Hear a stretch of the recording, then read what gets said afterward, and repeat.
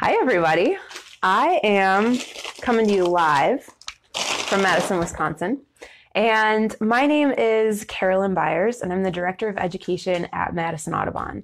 And usually I'm out in the field teaching. So I visit schools and community centers around Madison, Wisconsin. And I usually reach about 200 to 300 kids a week. Uh, but that's not possible right now. Uh, so instead, I'm trying to find ways to reach all of you through the internet. So here I am today, and we're going to be talking about furs. But first, I want to share with you some information about our new page, Safer and Funner at Home. So, our governor wants us to be safer at home, and we think we should be safer and funner at home.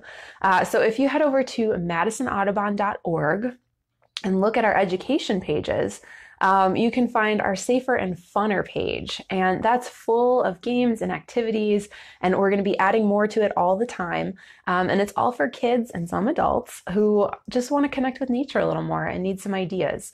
Um, and all of these activities can be done at a safe distance from other people. You can do them in your home, in your yard, at a local natural area. Um, and as long as it continues to be safe to go out to parks, you can definitely go there.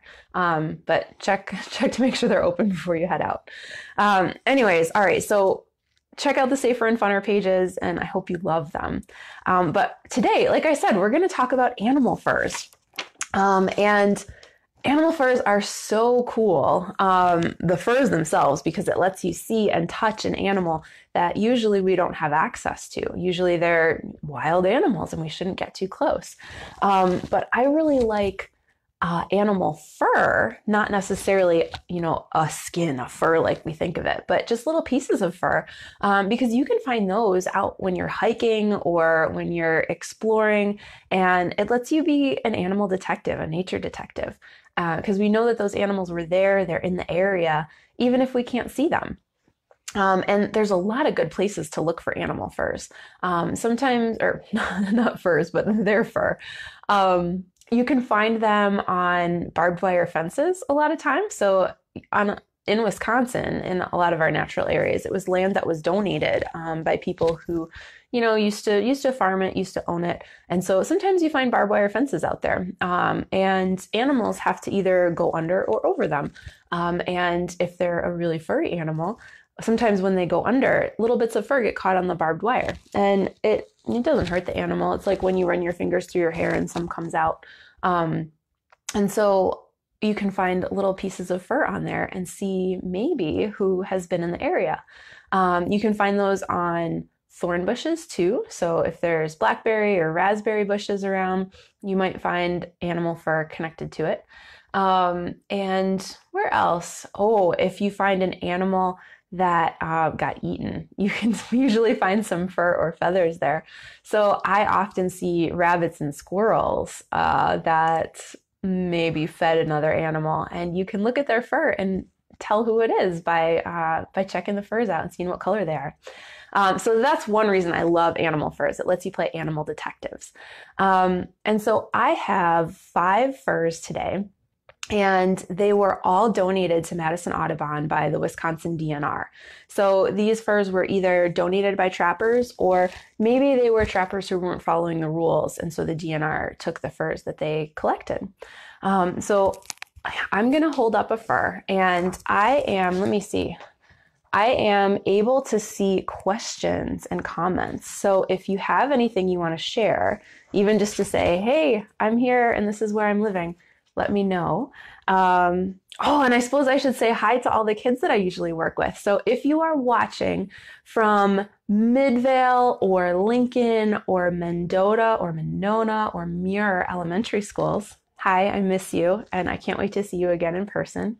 And same is true of Vera Court or Bayview or Goodman or Salvation Army Community Centers. Be well, everybody. Um, okay, so I'm going to show you my first fur, and if you want to guess what you think it is, I'm going to talk about it a little first. So, this is an animal that lives in Wisconsin. It lives in Madison, and actually, it lives in most cities and towns with people. Um, so, let me see. I'm going to pan across the whole body. It's kind of big.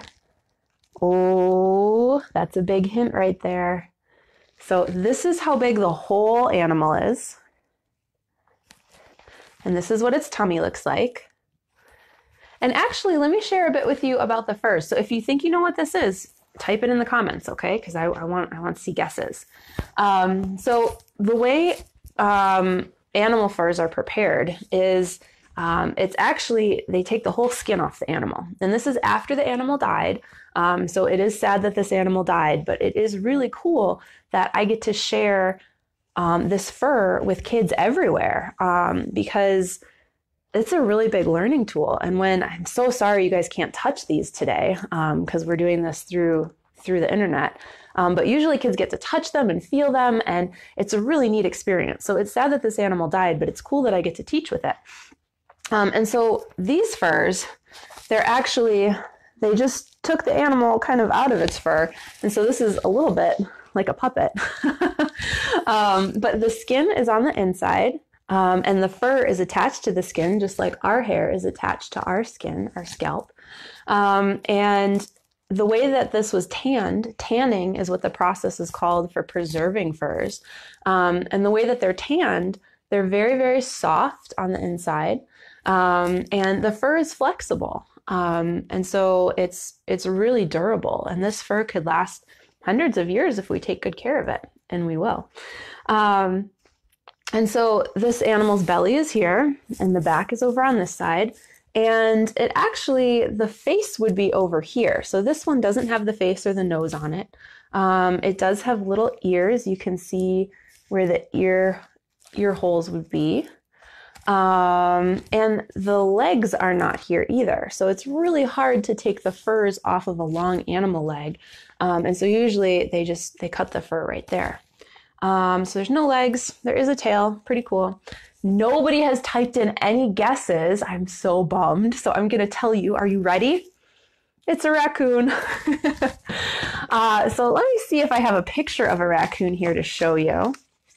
Um, where did you go, picture? Here we are. So, oh, there's a lot of glare on there from my window. So these are raccoons, and they are super, super common in all places where humans live um, because raccoons are really good at living near people. They are what we call generalist species. They're generalists in their habitat, meaning they can live almost anywhere. They can live near the edges of prairies, they can live at woodlands or oak savannas. Sometimes they hang out in marshes or swamps. Um, they do need a dry spot to sleep, um, but they're pretty comfortable walking around in wet areas. Um, and they also live right in our neighborhoods. Um, and that's partly because they're also um, diet generalists, which means that they can eat almost anything. Raccoons eat so many different things, mostly what they can catch, what they can get their hands on. Um, they would eat bird eggs and bird chicks, and they would uh, catch any living thing that they can really, anything that they can catch and grab and eat, uh, they will. Um, they also eat berries and um, other sorts of plants, so they can find food almost anywhere. Um, they also eat our garbage. So if you have garbage cans outside or a compost bin or a compost, you know, compost spot, um, raccoons can make pretty good use of that. Um, and that's one reason that they live right near us, which is so cool. All right, so I am definitely going to come back to this guy and talk to you about him more. Um, but I'm going to put him put him down for now, and I'm going to get another fur out. Are you ready to see? Usually I have kids guess what the next one is going to be, um, but I'm not going to do that today because the lag time is really hard. Let's see, what do I want next? Oh yeah, this is a really good one. All right, so I have I have a fur. It's a really long fur. Are you ready? This is its head. This is where its front leg is. This is where its back leg is. This is its huge, huge, huge long tail. So this fur is really, really long. There's the back, there's the belly. And actually, so it also does not have any legs. These are where the legs holes would be. But if I were holding this animal like this, its legs would only be about this long. So it is a super, super long body with very short legs. And you can see that this fur, see how I'm running my fingers through it? It's very, very short and dense. Let me do that with the raccoon so you can compare. See, you can barely even see my fingers there as they go through the fur. So if anybody has a guess about this animal, type it in the comments because I want to know what you think. All right, so this animal, remember how I said the raccoon, its face was not on its fur? This one does have its face. So it has very, very tiny ears. They're all very dry and hard right now, so I can't move them for you. Um, but these are where the eyes would be. And the eyes on furs are removed because everybody, everybody very, very gently poke your eye a little bit. Eyes are very soft and they don't preserve well. So if we left the eyes in here, they would first they would look like raisins, all shriveled, and then they would start to rot. So the eyes are taken out. Ooh, Katie guessed a beaver. I want to show you this long, long tail though. Do you remember what beaver tails look like? Beaver's a very good guess. This is an animal that lives in the water, has very dense fur to keep it warm while it's in cold water. But beavers have really big flat tails. And Nancy and Katie, they, you both win. It is a type of weasel, but it's an otter. Um, and otters, they live in Wisconsin. I don't know of any in the actual city of Madison, um, but they love waterways and you can find them in lots of places in Wisconsin. Um, so we said this was an otter. Very, very cool. Um, oh, and I was showing you its face, wasn't I? Um, if you look closely, you can see its little dried up nose right there and its little whiskers. And they're very stiff, bristly whiskers. If anyone has ever felt a dog or a cat's whiskers, these are a lot stiffer than those and shorter, very short. oh, Kathy's celebrating for Nancy in the comments, and I love it. That's so good. All right. Um, so this, like we said, this was a type of weasel. It's an otter. It's a very, very long, thin tube. All weasels have very long bodies with very short legs, and all weasels are very ferocious hunters, and they eat so much food. Um, otters, like I said, they like to live in the water, um, and they live there all year long um, and they are active in the winter. Um, otters eat fish and crayfish and mussels and mostly things that live in the water because that's where they they're good at hunting. Um, they have this long, long, sleek body that makes them very streamlined in the water, and their tail acts as a rudder. It helps them steer. Um, I wish the feet were on this guy because they have big webbed feet that help them swim through the water. They're they're very well adapted to living in the water. Remember how I said that the raccoon was a generalist? Well, the otter is more of a specialist. Um, and a specialist means that they are good at doing something special or they need to live or eat somewhere special. Um, so otters, um, they're, they can eat a lot, a lot of things, but it is special in that they mostly eat things that are found in the water. Um, and their habitat is special because they need to be in water, rivers or lakes. Um, but they can they can still live and eat a whole a whole lot of places, eat a whole live in a whole lot of things. I don't know if I said that right. That's okay. Um, all right, so remember how I said that their fur was so so dense? Um, I'm going to talk just a little bit more about animal the actual furs, um, their hairs. So animal fur is a lot like our fur, except that usually it grows to a particular length and then stops, um, kind of like our arm hair fur or fur hair arm hair fur, the hair on our bodies. The hair on our head keeps growing forever and ever, um, but the hair on our on our arms um, it grows to a certain length and then stops, and that's kind of like animal fur. Um, now, animals they have two two main types of fur, um, and they have guard hairs and your un- your undercoat. All right, so the guard hairs are these long ones. Well, they're kind of short on the otter, but they're long ones that go over the whole thing. They protect it. I'm going to show you on the raccoon because they're a little bit bigger there. Um, these these hairs here, these these are the guard the guard hairs, um, and they're very very long. And what they do is um, when they're in the right position, um, they sort of all move together to create like a raincoat. Um, so if water or snow is falling on it, it will go over the guard hairs and then fall off the animal. So hopefully, unless they get really soaked, the the wet water or snow doesn't get down into the undercoat or into their near their skin. So it still it keeps the animal really warm. So the guard hairs are like a raincoat for the animal. So I mentioned that they also have an undercoat, and the undercoat is like if we were to put a big puffy um, jacket or a sweater on underneath a raincoat. So these are little short hair. Oh, can you see that there? Yeah, that's in focus. Um, that are very dense. You see that light gray color underneath the darker brown, and that that undercoat really helps keep the animal warm, but it's not very good at shedding water. So the undercoat and the guard hairs together keep the animal dry and warm. Hey, Angie, good to see you. um, and here, let me show you. There is the undercoat for the raccoon, that dry fur. And you can see right there, that's the skin.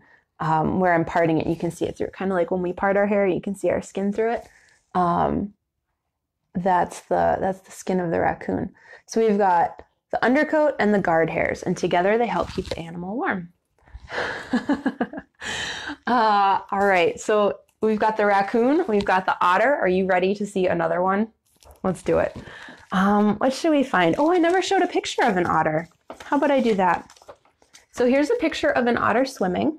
You can see his nose poking out. They've got really big noses for their faces. Oh, they're so cute.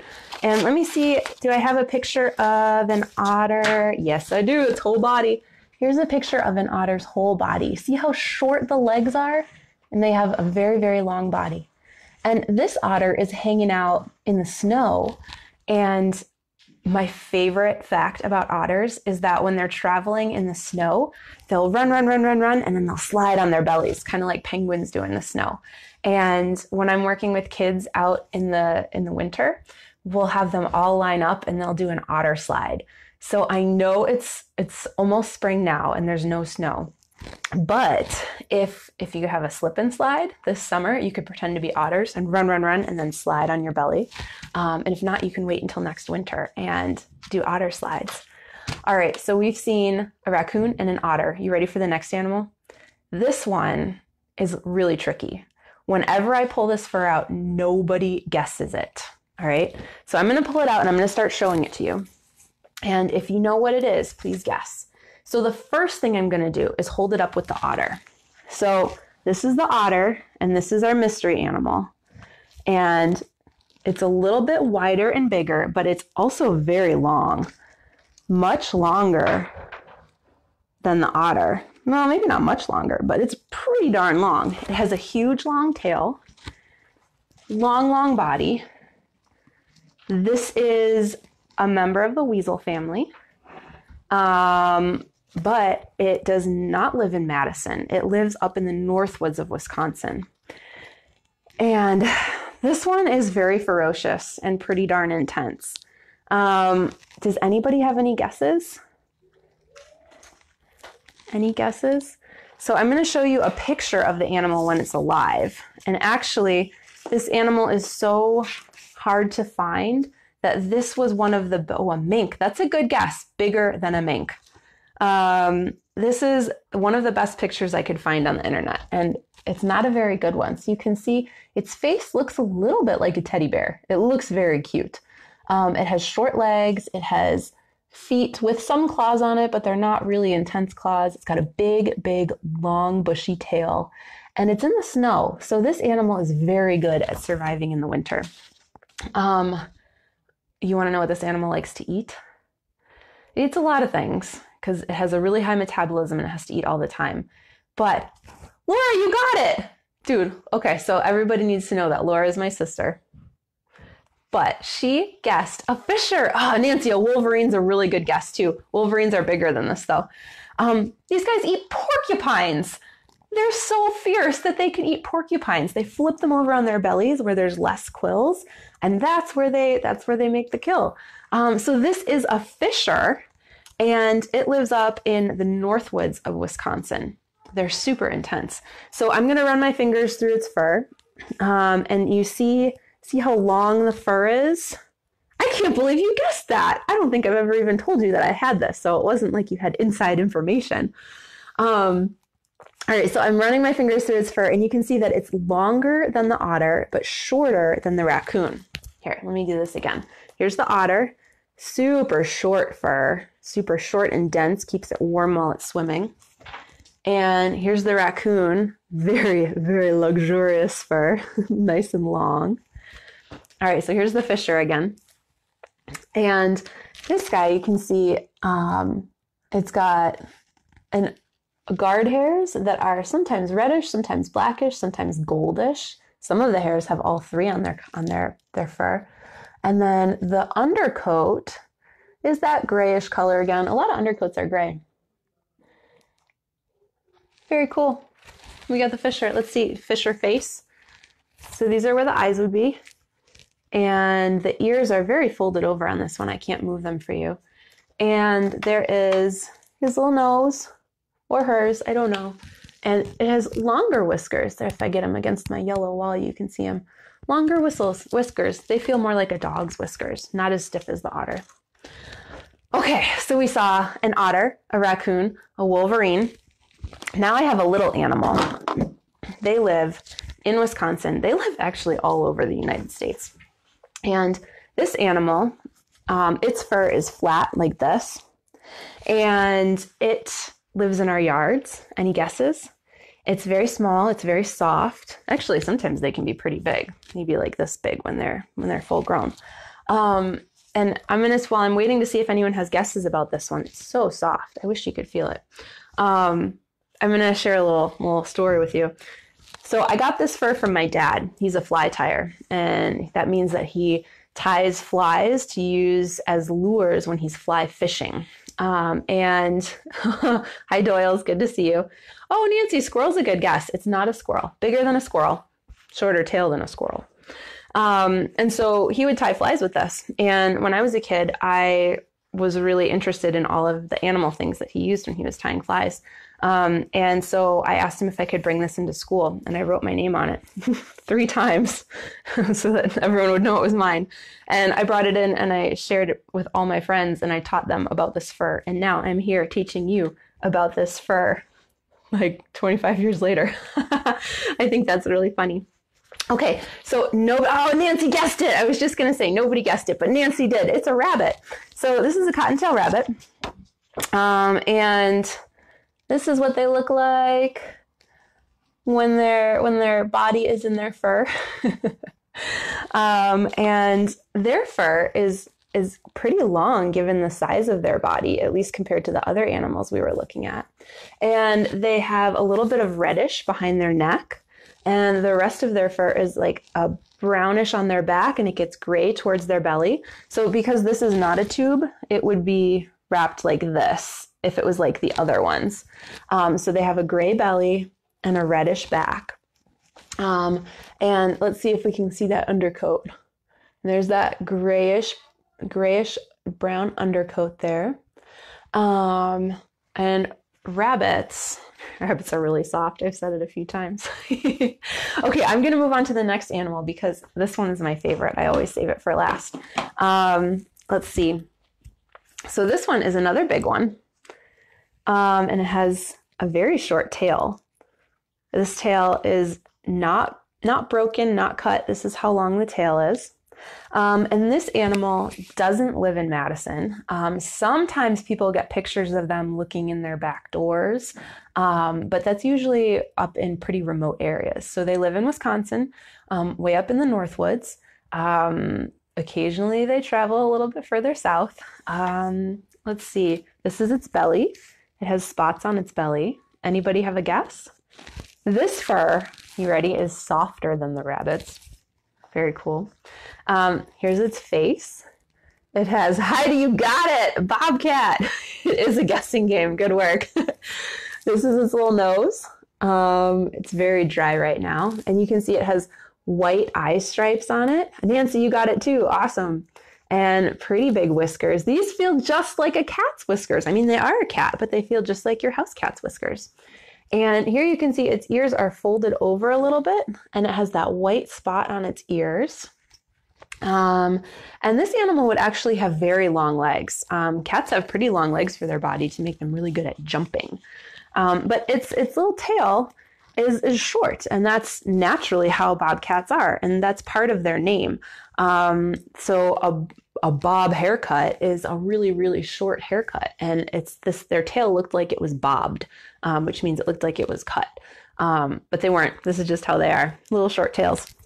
Let me see if i can find a picture of a bobcat. Here's a picture of a bobcat's face. I think they look so cool. Really tough and calm. And here's a picture of its body. See how very long the legs are? They're very lean good at jumping yeah, good at catching. So, does anybody know what bobcats eat? And you know what? There's such a delay. I think I'm going to ruin the surprise. bobcats eat um, a lot of rabbits and snowshoe hare sometimes when they're up north. Um, they'll eat birds because they can jump and catch them. Um, and they'll also eat all kinds of small rodents um, squirrels and rats and mice and voles. Um, basically, anything your house cat would eat, plus some bigger stuff. Um, and that's a really good reason to keep your cats inside because uh, they eat a lot of animals. um, so I'm going to run my fingers through this one's fur. It's got um, pretty long fur for its uh, for its body, um, and it's very very soft and pretty dense. Um, and let's find that undercoat there's that same color of the undercoat. And you know what? I am I'm a bird expert and a sparrow expert. I don't know a ton about mammal fur. I mean, I know enough, but I'm not an expert in it. And I'm very curious about um, whether all animals have the same color undercoat. Um, because all the ones that I looked at today have this grayish color. Um, and I bet there's animals out there that have an undercoat that's a different color. But I'm really curious about why all of these animals had I mean, they're mostly shades of brown and red, but they have different colored furs, but all of their undercoat is the same color. Um, so I might go and do a little bit more research online about that later today. I might might do a little googling. Um, so this was our bobcat. Um, let's see. So I'm about to the end of this, and I want to do something called eight minute notes, and I've done that with kids in other online lessons. And if you want to do that too, what you need to find is a piece of paper and a pen or a pencil. So while you all are getting your paper and your pen and your pencil or pen or marker, crayon, whatever you want to do, um, I'm going to do a little bit more talking. And if you have any questions, type them in now so I can answer them, okay? And we'll do eight minute notes very soon. All right, so I showed you the bobcat, the rabbit, the fisher, very long fisher, uh, and the raccoon. And um, furs have been a really big part of human history for a long, long time. Um, back before humans could make a lot of synthetic materials and before we had, you know, big factories to make make warm things, furs were really how we were able to survive in cold northern climates. So humans, we hunted our food and we used all of the animals that we could because it was really hard to hard to catch them. Um, and so we saw how warm the animals were and we um, felt how warm the furs were. And so we used them to keep our own bodies warm and to make houses out of them and tents and blankets. Um, so animal furs really helped keep humans warm for a long, long time. And actually, even after we have, you know, big North Face jackets and parkas and stuff, a lot of um, native people, first people, um, they still use animal furs because they are warmer in most cases than the synthetic stuff. So, native people living up in Alaska or northern Canada, they'll often still be using animal furs. Um, and there's a lot of controversy now about whether or not people should be hunting animals or trapping them for their furs. Um, and some people think it's right and some people think it's wrong. And I'm not really here to talk about that. But I do want to mention that there is a pretty big environmental impact for creating the synthetic materials too. So it's true that no animals maybe were actually killed to make the synthetic jacket. Um, but there might be pollution or, you know, there were materials that needed to be extracted from the earth to do that. And animals probably died because of that. So really, humans impact the earth, and we have to think hard about what that impact should be. Um, so, animal furs have been a really big part of human history, and it's really cool to think about maybe what our our history would be like if we didn't make use of them. We would only be living in warm places. All right, so Nancy asked, can otters make a den above the riverbank? You know, I the short answer is yes. Uh, so otters will dig dens, um, and they live. They they don't want to be flooded, so they would be higher than the riverbank. Um, I'm not certain exactly where otters dig their dig their dens, so maybe I will look that up and then I can post it in the comments after. Well, maybe later today, because I'm going to look it up while my kid's napping. uh, does anybody else have any questions? What do you think? don't see any more comments. So I'm going to get started with eight minute notes. Um, and if you if you have your paper and you want to join us, please do. So the first thing we're going to do is um, write our name on the paper, and we are going to write the date on the paper. And the date is April 20th, 2020. And this is all going to be reversed, isn't it? There's my name, there's the date, it's backwards. and the next thing you're going to do is make a giant plus sign on your paper. So you're dividing it into four four sections. See the giant plus sign? All right, and we're going to get 2 minutes to write in each one of these. Maybe draw two, okay? So what we're going to do is we're going to start pick a box. I'm going to start in this box and you're going to write something that happened something that happened during this class. And it doesn't have to be something that I did, it could be something that happened where you are. So maybe the adult you're with fell off their chair. Maybe your little brother or sister kept on interrupting. Uh, or maybe there was something cool that you saw out the window while I was teaching. All right, so you're going to have two minutes to write this. Are you ready?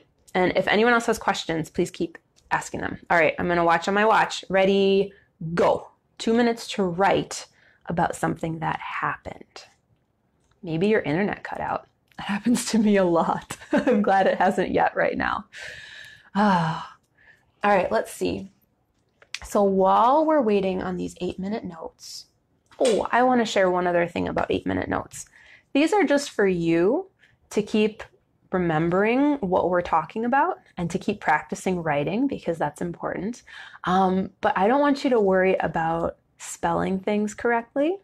That doesn't matter. As long as you can understand what you wrote here, that's the important thing. Um, and if you want, if you get done writing, you can draw a picture too. Okay? All right, so we have, we're almost done with our first minute. You have one more minute. Um, oh, I'm going to tell a story about some animal fur that we found on a field trip that I was teaching. Hi, Cherry, good to see you. Um, we were on an animal tracking trip in the winter, and we were at the Arboretum, which is a really fun place to go birding if you're living in Madison. Um, you should check to see if they're open right now, though. And we were looking for signs of animals. And we were walking and we found a little bit of blood on the path. And the way it was spaced on the path, I thought maybe it was a coyote or a fox that had hurt its paw. Um, because sometimes that happens to my dog when it's cold and icy out and gets a little cut on his paw and he steps and he makes little bloody footprints. Doesn't hurt him for long, just a little bit. Um, and we have like 15 seconds left on this eight minute note. So keep writing if you want or drawing. Um, and so we were following this blood trail, and then there got to be more and more blood. And so then I was thinking, oh, I don't, I don't think it's a hurt coyote or fox. I think it's something different. Five more seconds. Three, two, one. Stop. Okay, so we just finished the first section of our eight minute notes. So now you're going to pick another box. I would pick this one. And I'm going to write something, or I want you to write something that you learned today. Um, so on your marks, get set, go. And it could be something you learned about furs, or maybe a fact about one of the animals that we talked about. Maybe it's just a list of the animals we talked about. Um, maybe you were looking stuff up while I was talking and you learned something cool that I don't even know about. Maybe you should write it in the comments too if you want to share it with me. So, we're writing for two minutes about something we learned today. And I'm going to keep telling the story about that blood trail. So there was more and more blood in the snow, and we were all wondering what on earth it was because we didn't think it was a hurt coyote or a fox. And then we found a bunch of fur. and it was a pretty bloody spot in the snow. And there was a bunch of ripped up fur around it. And the fur looked just like this. Do y'all remember what this is? This was our rabbit. And so I thought that a coyote or a fox killed a rabbit. But then I looked around and there was more blood and it was headed off in a different direction. So we started following that and there was more blood and more blood. And this is starting to sound pretty morbid, but I promise it was a really fun field trip. Um, and we have 30 seconds left to write about something you learned. And so then one of the people on the field trip looked at me and said, How much blood does a rabbit have? And I said, Not this much. So we kept walking, we kept following it. And then all of a sudden, there was a whole bunch of blood in the snow. And then the trail ended, and we were all looking around like, what happened because there were no other signs. Um, but then as we were walking out, we were very confused and a little frustrated. Oh, time's up. That was two minutes. I'm going to finish the story after we set up our next one. Okay, so now you're going to pick one of the bottom boxes and we're going to have two minutes to write something that somebody said. It could be something that I said. Um, it could be something that someone in your home said. It could be something that you said. Um, but remember, oh, start writing. Start writing now. um, remember, when you're writing uh, something that someone said, we want to put it in quotes. And remember, quotation marks look like two lines. Two lines like this on either side of it. And you write what you want in the middle, what they said. And then at the end, you could say, Miss Carolyn said, or mom said, or dad said. Okay? So we have two minutes to write something. Well, we have one minute now to write something that someone said today. And I have to tell you what it was. As we were walking out of the woods, we saw a sign that said, um, Deer control, deer herd control in progress. Stay on the trails. And what that means is that there are too many deer in the Arboretum. It's a park in the middle of a city, and they have no predators that hunt them. And so there were too many deer there, and the Arboretum is a really special place for plants. And deer eat a lot of plants. And so, to keep the plants healthy and to actually keep the deer healthy too, um, there were hunters in there removing deer, killing deer, um, to make sure that everyone stayed healthy. Because if there are too many deer and not enough food, well, they'll eat all the plants in the area, but also then the deer would starve. Um, so that was a deer that was shot by a hunter and then brought out of the park using the trail. But it was so confusing for us because we were not we were not thinking uh, along those lines. Okay, everybody, stop. That was two minutes. So for this final box down here, I want you to draw something, and you could draw anything that we talked about today, or anything that you saw in your home um, while this lesson was going on. So start drawing now, and you have two minutes. Maybe you want to draw an otter or a bobcat or uh, a rabbit or a raccoon. Uh, maybe you want to draw a guard hair and an undercoat hair. Undercoat hairs are much shorter. Maybe you want to draw something you saw out the window. Maybe you want to draw a picture of me. Maybe not. Um, anyways, while you're drawing, we have about a minute and a half left. I'm going to tell you the rest of my story. Um, so I thought it was really neat being a nature detective on that trail. And it was really cool how, as we got more information about what was going on, we kept changing what we thought was happening. First, we thought it was a coyote or a fox with a hurt paw. Then, we thought maybe a rabbit got killed and had some blood that was dripping out. And then things kept getting weirder and weirder, and we knew it wasn't a rabbit anymore, but we didn't know what it was. And then we saw the sign that um, the actual sign written by humans that uh, explained all the animal signs we were seeing. Uh, and so that was really cool to be a scientist and keep changing our minds about what we thought was happening based on the information we had. Uh, and so I think that was a really good, really good way to practice being a scientist. Okay, everybody, we have just a little bit left to keep drawing. Does anyone have any more questions before we finish up? This was a really fun lesson. I love talking about animal furs. Um, I'm thinking of new ideas for classes to do, and I brought my microscope home. Uh, and I was thinking maybe we could dissect an owl pellet in a class using my microscope, my dissecting microscope. Um, or maybe I could go and find a pond and look for tiny little water animals, like really, really, really tiny. Um, and we could look at those while they're swimming around. Five seconds left. Four, three, two, one. Stop. Stop drawing. Okay, eight minute notes are done. Thank you so much for doing those. Um, I had I had a lot of fun today, and we're going to be doing more classes for sure. Actually, on Friday at 12:30 Central Time, we're going to be doing. I'm going to be doing uh, a Build a Bird lesson, and Build a Bird is another one of my favorites. And in that one, it's basically story time where we talk about all the cool adaptations birds have. And I'm going to be showing pictures. I'm actually going to be doing a Zoom lesson, and I'll share my screen so you can see all the pictures. I won't just be holding them up like this because that's not as cool. Uh, but we're going to look at bird beaks and eyes and wings and feet and talk about all of the things birds are able to do with that. And we'll talk a lot about generalists and specialists. But then at the end, we're all going to get to color and imagine our own birds. So you get to pick like puzzle pieces, all of the adaptations that we talked about and make your own bird. Maybe you'll make it with goggle eyes and a basket beak and stilt legs. It's going to be fun. So that's going to be this week Friday at 12:30. Um, and definitely check out our Safer and Funner at Home because uh, there's a lot of cool activities there. And I want to remind everybody that all of our edu- education programming is free for kids. We provide it for free. And if you have the means and you want to help us keep providing free programming, um, we're going to add a link down in the comments that, to our website, and you can find the Donate Now button. And it really, really helps us keep this programming free because everybody should have education programming, especially about nature. It's so important right now. Nature keeps us calm and grounded and it's relaxing, and we all need that. So until next time, everybody be safe, go see something cool outside. Take care. Bye.